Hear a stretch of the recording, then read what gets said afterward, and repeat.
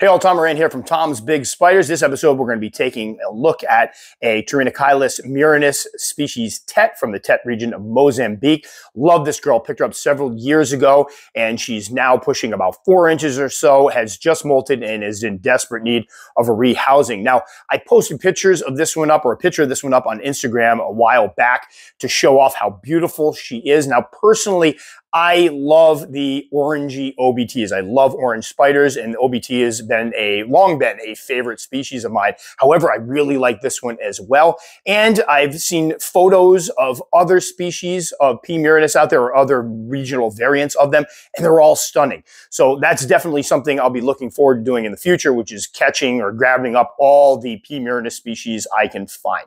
So enough of me talking. Let's take a look at P. murinus species Tete. Okay, so we're about to rehouse my Pterinochilus murinus Tete. It's a species from Tete, Mozambique, a place where it is usually very, very hot and fairly dry overall. They don't get a lot of rain. So what we're setting it up on is first the enclosure is one of those millions of, I, I don't know which one this is. Hold on, I didn't even check. Primal cages enclosure. I got a bunch of these years ago. I don't think he's back open for business. He closed up for a bit. Last I spoke, I'd reach out to him. I don't think I heard back from him, but there's a bunch of folks that make these now, probably like eight to 10. I don't know. It seems like there's always somebody else popping up making them, but I love these for the medium sized ones. This is a, a fairly decent sized spider, but this should give it enough room to kind of do what it needs to do. Now the substrate in here is a mixture of peat, cocoa fiber, sand, and some shredded sphagnum moss. I have it mostly dry. You see it's a little bit moist on the bottom, only because when I mixed it up originally, it was moist. I had to hydrate the cocoa fiber, but I've been letting it dry in the garage for a couple months. So if it wants to dig down, get a little moisture, it can. Otherwise, the top is all dry, chalky, very nice stuff. And what I'm going to do here is I'm going to set this one up only because it's going to, I'm going to do something a little bit different with it. This is a species if you look at the container or the enclosure here, has done some webbing. And a lot of my P. murinus do like to web the snot out of their enclosure. So I'm going to give it some stuff to web too. So first off, what we're going to do is give it a hide. So we're going to give the old cork bark hide here. I'll make a space underneath it, which it'll probably bolt to and not allow us to get any shots. We're going to hope to get some shots of this one, but I'm not going to play around with it. And then I'm going to put a second one in here just because I liked, I've been doing this lately. It gives them a little choice. And then let's put some leaf litter down. Now, people sometimes ask, why you put the leaf litter in? If you're doing a bioactive enclosure, it's to give it stuff to break down. For me, I just like the way it looks. It gives it a little more naturalistic appearance. Open that spot right up in there. And then I'm using dry New Zealand sphagnum moss because I don't need to use the green stuff because we're not really keeping this moist. And we're going to go put some in there. And then what we have here is we have a big grapevine in our backyard, right, crawling around our porch. And every year we have to trim it back. And I saw people sell grapevine for inside of enclosures. Now, if this was a moist enclosure, I would not use a grapevine. From what I've gathered, it can get moldy and rot.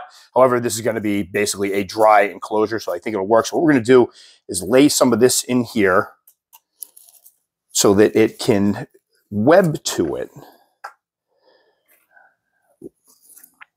I did this with, uh, I think he used sandblasted grapevine on a Harpactira enclosure. And unfortunately, it, they, they didn't work. they did no webbing to it whatsoever. Now, break this one apart. And this is clean. We did not take the stuff that was on the bottom that my dog goes and pees on all the time. And I don't know if you can hear it, but in the back, my neighbors have spent the last several days cutting down a bunch of trees around their house. And now they've apparently rented an industrial strength wood chipper because everybody wants to hear that on a Sunday afternoon or Sunday morning. So hopefully it's not, uh, you can't hear it too, too much. It's driving me nuts. So I hate the sound of it.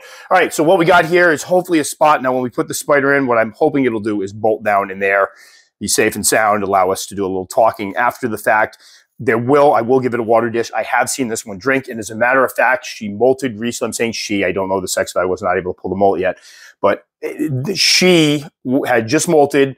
I hadn't fed her. I checked on her the other day and I realized that her water dish had evaporated.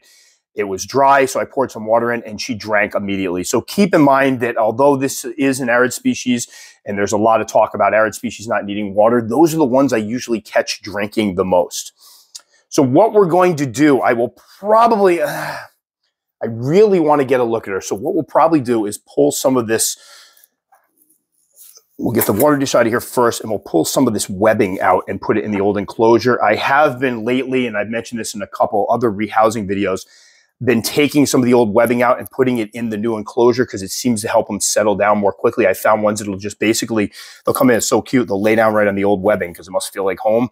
And then when they start webbing up their enclosures, they take it from there. They start threading it out from there. So I think she is going to, let me just close this so she doesn't bolt out. Yeah, she's right in there.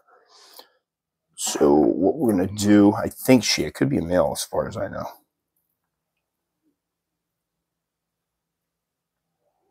Uh, man, what did I set this one up as? I don't know if we recorded this one. It's got all kinds of weird stuff in it. Oh, there's the molt. Uh, do you see her? Because I don't. Oh um, man, I um. really want to get her out, but I don't want to. Obviously, being a P. murinus, you don't want to mess with them too much. Well, first of all, we're going to grab this molt and it's pretty chewed up. She's chewed up the last couple. I'll put over there and see later on. I can figure it out, but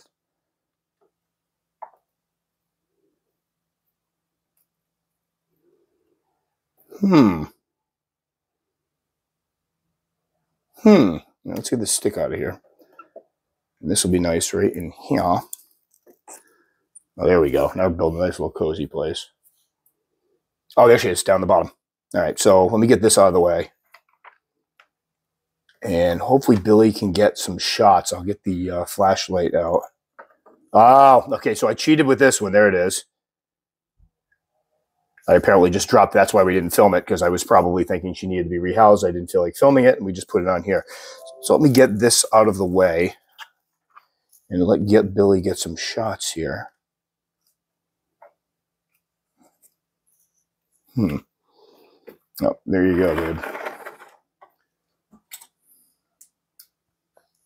Now, what you should see, I have a picture I will flash up. I put one up on her of her on Instagram a while back where she was a brilliant gold. And what you see there is some, you know, orangey bronze, bronzish, bronze-ish tones on her knees, and then the rest of her is kind of that gold color. Just a really good looking spider. I love all of the. I have to get more of them, but all the different regional variants of P. murinus are just as pretty as the OBT, which is the orange version.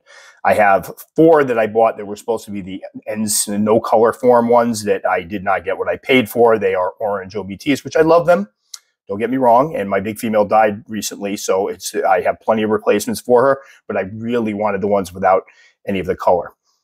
And as you can see here, she's this. This is what when people talk about P. murinus being crazy, this is pretty much what I've experienced with the vast majority of mine. I don't think I've ever received a threat posture from any of mine, and I've kept now nine, ten. So we're going to go ahead and try to get her into the new enclosure. There we go. It didn't really need the flashlight. So, no, so what I'm going to do is spread a little of this webbing here. This should be a nice little home. We'll keep this out. All right, so do we go simply limeade? Do I go, I have the other, I don't have the, it looks like simply limeade because apparently I moved my other catch cup. Oh, there it is right there. This one might be the way to go.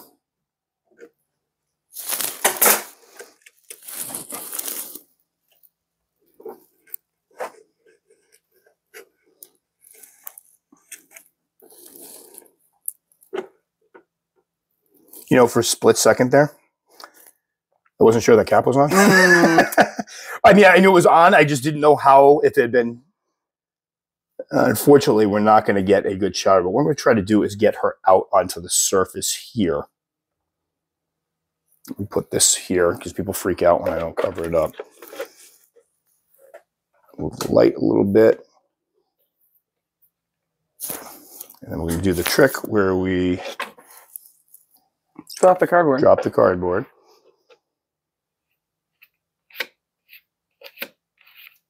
Every time.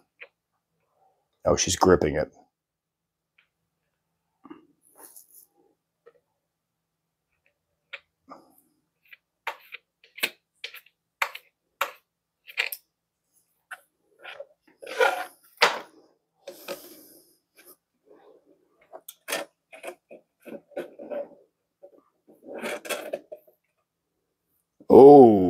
Right. So what I'm going to do is, up, up, up, up, up. Don't move. Do not want her out and about.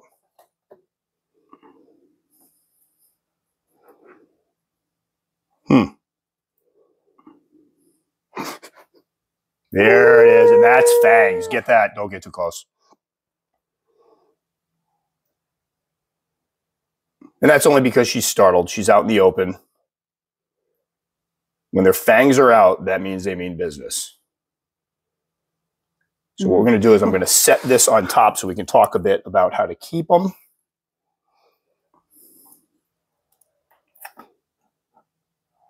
And Billy's going to get some more footage of her being a brat, but I don't blame her. I mean, think about it. She was buried, and if every, what I want everybody to see in this is that she was completely buried in her home, trying to avoid me at all costs. I pulled out the webbing, I pulled out everything on top of her. I poked her. I got her into a cup. I put her in the new enclosure. I poked her again. And finally, when she was caught out in the open, that's when she got a little ornery.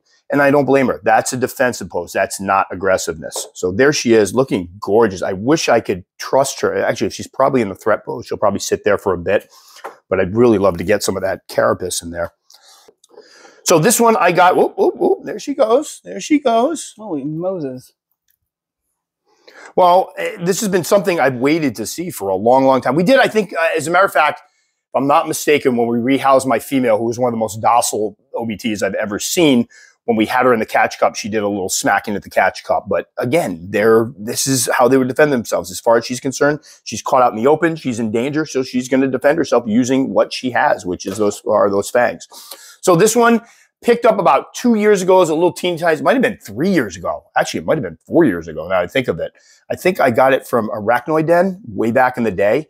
She's grown a little more slowly. However, what I found with P. murinus is they are, they do come from a very warm region and uh, from warm regions where it's pretty hot and inhospitable, and they do grow much more quickly with hotter temps. Now, do they do fine at lower temps? Yes. I raised my first OBT, the temperatures in the wintertime were in the 60s. In the summer, they were in the high 70s. Nowadays, here in the summertime, we're talking high 70s to mid 80s. In the wintertime, it's usually right around 72, 73 with a couple cool days. And they do just fine like that. Moisture wise, you don't need to do too much with the moisture. You don't need, I won't keep part of this moist uh, like I do with some of my other species. You, a water dish will cut it. And if they do a lot of webbing, just putting some, let me just slide this over. There we go. If they do a lot of webbing, just putting some dribbling some water on the webbing once or twice a week is also a nice way to give them a way to drink. Some of them will come right out and drink right from the webbing. Oh, she's so gorgeous. I want to take this off so you can get some shots of her. She's, see, look what she's doing now. She's like, I'm, I'm not being accosted. I'm going to hide. Great camouflage too. All right, don't get too, too close, but Billy's going to get some more shots of her. Gorgeous spider. Got, I'm hoping it's a female. I've had, I've just had two OBT, the orange version males, and they were smaller than her. Oh my gosh, look at that.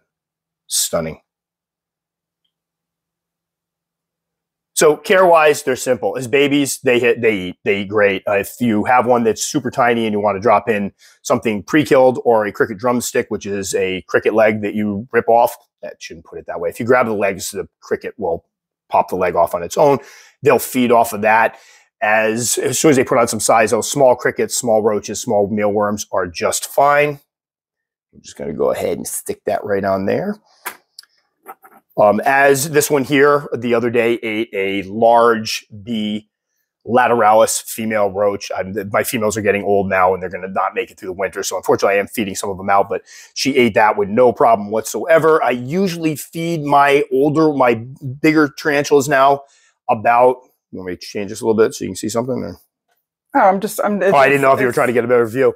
I usually feed my bigger ones. Nowadays, it's every couple of weeks or sometimes once a month. Usually what happens is once they molt, like this one just molted, I pumped a couple meals to her in rapid succession. So she got like fed twice in a week. And once she put on a little size and didn't look quite so emaciated, then I will back off of it and probably feed her one big meal once a month. I'm going to try to get that cap out of there too. Oh, look at her moving around. Let me see if just see if you can get some more shots of her. She's just so pretty.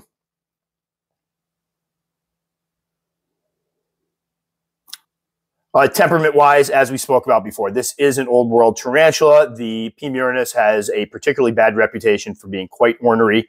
But as you saw earlier, if the, the, most of them would rather hide if given the space. The times I see ones that have super ornery ones are either messing with them or they have a situation where their enclosure is too shallow and the spider can't adequately hide. They web, you rip off the top, it rips the webbing off, you have a defensive spider. But I found that majority of mine, I have a bunch now that I need to rehouse. They're actually, I, I will say it flat out, call myself out, too large for their enclosures. And I need to rehouse them very, very soon. And right now, they are still not overly defensive. They will just go down. They have webbed up their entire enclosures and they go down and hide. And that's what this one did here.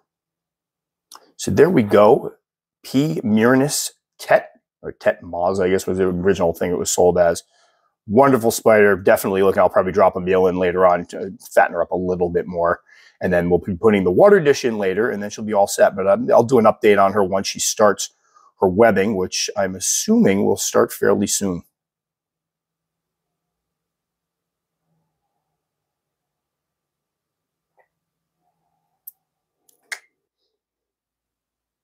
All right, so again, I know these guys have a terrible reputation, especially the fiery orange ones, but P. murinus in general, people talk about how they're demons and how defensive they are. What you saw there is not aggressive behavior. That was defensive behavior. So she allowed me to pull up all the stuff on the top of her enclosure. She sat there all scrunched up as Billy filmed her. She was actually quite reasonable as I poked her in the behind with a brush and got her up into the catch cup. She was even reasonable when I got her out of the catch cup. It wasn't until she was out and exposed that you saw that threat posture go up. Now, one thing I want to point out is that the fangs were out at one point. That's a spider that's ready to bite. That's a spider that, uh, for lack of a better term, is afraid for its own well being. And it's going to use the last defense it has, which is to inflict a very painful bite on whoever is harassing it. So, had we continued and stuck that brush back in there and poked her again, I can guarantee you that she would have turned around and struck at it. But I didn't want that. I wanted her to settle down. As you saw, as, as the video went on, she settled back down. Right now, she's up on the shelf and she's basically scrunched up behind and underneath some of those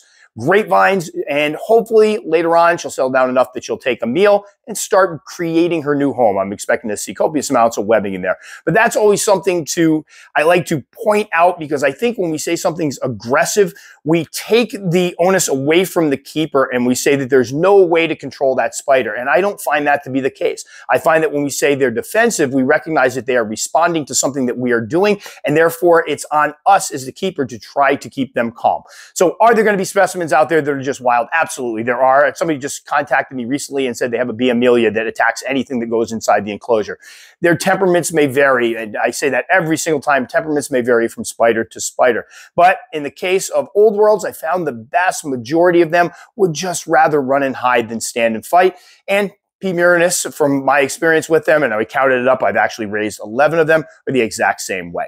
Also, one of my shorts actually picked up a lot of steam. We picked up uh, quite a few subscribers for it. So if you're one of the new subscribers, I just want to say hello. Unfortunately, we're not one of the flashy channels out there. If you notice, I didn't poke this spider to get the rise out of it to get more views. It's not what we do. My channel is all about education, but I hope that some of you will stick with me and maybe some of you will actually wander into the field of keeping tarantulas. And if so, I think I'm a pretty good source of information. So that will do it for this one. As always, if you liked enough to subscribe, very much appreciate. Click the little circle up in here. I'll put a couple more videos, maybe one featuring old worlds and OBTs over there. As always, if you take the time to comment, I will take the time to respond. Just know it can take me a few days. Guys, stay safe. Catch you all next time.